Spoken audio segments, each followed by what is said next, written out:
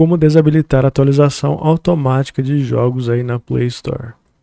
Bom, você vai aqui no seu celular abrir o Play Store, clica aqui na sua foto, depois você vem aqui em configurações e vai vir aqui em preferências de rede.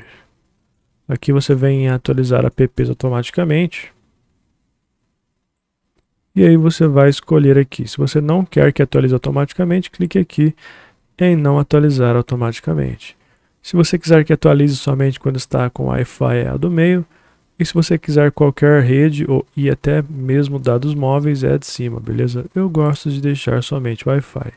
Se eu tirei sua dúvida, deixa o like, se inscreve aí. Até mais.